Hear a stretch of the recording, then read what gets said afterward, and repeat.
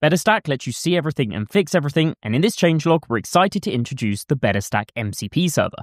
This lets you use AI to analyze logs and errors to uncover root causes. It can assist with status page updates and guide you through your post incident tasks. Let's take a look at the MCP server in action. I have the MCP server connected to Claude Desktop in this instance, and I'll show you how at the end of the video. But for now, I can start off with a query about my on-call. So I'll say list my on-call calendars. That will run the list on-call calendars tool. There we go. I can see the on-call calendars that I have access to, as well as some additional information like who is currently on call for them. If I want more specific details, I could ask it something such as what is the schedule this week for the EU schedule on-call calendar. And with the list on-call events tool, we get back that information and it's now in natural language. Now let's say we have an ongoing incident. With this, we're able to create, manage, and collaborate on incidents from their start to resolution. So I'll start out with a prompt saying list all of the unacknowledged incidents from today. And in the response I'm getting back, I can see that there is currently one unacknowledged one, as well as some information about the incident itself. And I'll follow up from this by asking it to fetch me more details as well as the incident timeline. And with that, it fetches the information that's needed via the tools. And we can see it's written up a report here about the incident details,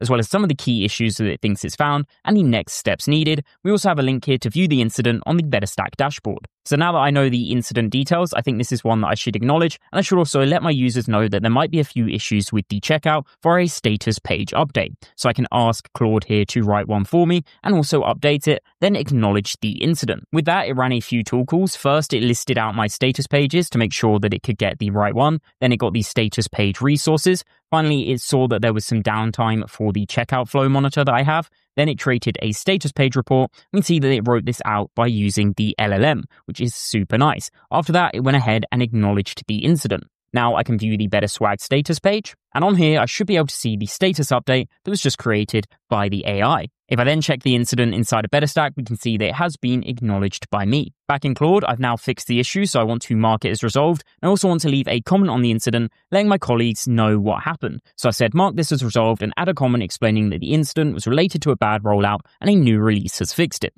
And there we go, it ran the create incident comment tool as well as the resolve incident one. So when we open it up in BetterStack, we can see the incident has been resolved as well as the comment that I left via the MCP server. So hopefully you can see just how useful this is going to be for working on your incidents. You can also utilize the other uptime features like monitors, heartbeats, and status pages. For example, I could say list my monitors, and it gives us a nice report back of the active monitors that I have, as well as some of them that currently have issues, and the paused monitors. And I could say something like, what's the availability of my storefront monitor this month? That gives us a nice SLA summary and uptime percentages. Check the documentation for the full list of uptime tools. There's loads more in there, like the ability to create incidents, as well as view your escalation policy details. Next, though, let's take a look at using the MCP with your telemetry data. I'm going to start out by asking it to show me recent error logs for my checkout service. With that simple prompt, we get some really powerful information back. You can see it listed my BetterStack sources to make sure it could find the right ID.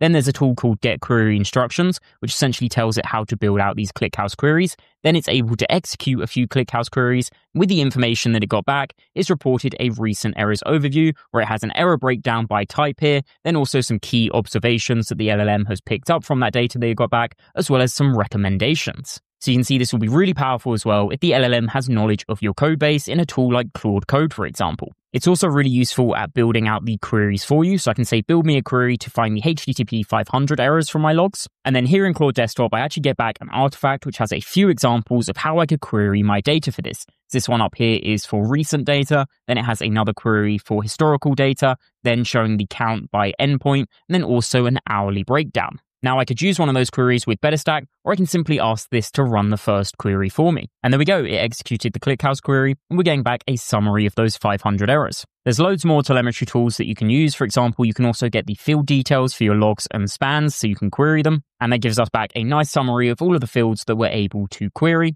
And there's also tools for metrics as well, so I can ask what metrics are available and we get back a nice overview of all of the available metrics that we can query and visualize. And at the end here, it even gives us some recommendations of the dashboards that we might want to create with this information. Again, you can see the full list of telemetry tools on our documentation, but now let's talk through how you can add this to your own AI assistant. You can find the example configurations for our MCP server on our documentation. There's one here for clients supporting HTTP servers, but there's also one for those that don't. In my case, since I'm using Claude Desktop, I'm going to be using this MCP remote version. Next though, if you want to query telemetry data, we do highly recommend that you include your cloud connection details with the configuration. So in my case, I will be using this config here. Now, as I said, it is only recommended to include the cloud connection details for a smoother experience, as the MCP server is still able to create its own cloud connection if needed. Including them should just result in a smoother experience, especially when you're sending follow up queries, as sometimes it does end up hallucinating the username or the password. With the config that you want to use copied, head to the tool of your choice and add this into the MCP settings. In the case of Claude Desktop, you can find this in the settings, then under developer, and click edit config. Then inside of the JSON file, we can simply paste in the information that we copied. And next, we need to go ahead and get our BetterStack API key as well as the cloud connection details. For the API key, head to BetterStack and then go into your settings. From here, go to API tokens, and we recommend that you use a global token so it has access to uptime and telemetry across all of your teams. In this case, I created one called Claude Desktop MCP Server. For the cloud connection details, you want to go to telemetry and then dashboards, then go to connect remotely, and from here you should see ClickHouse HTTP client.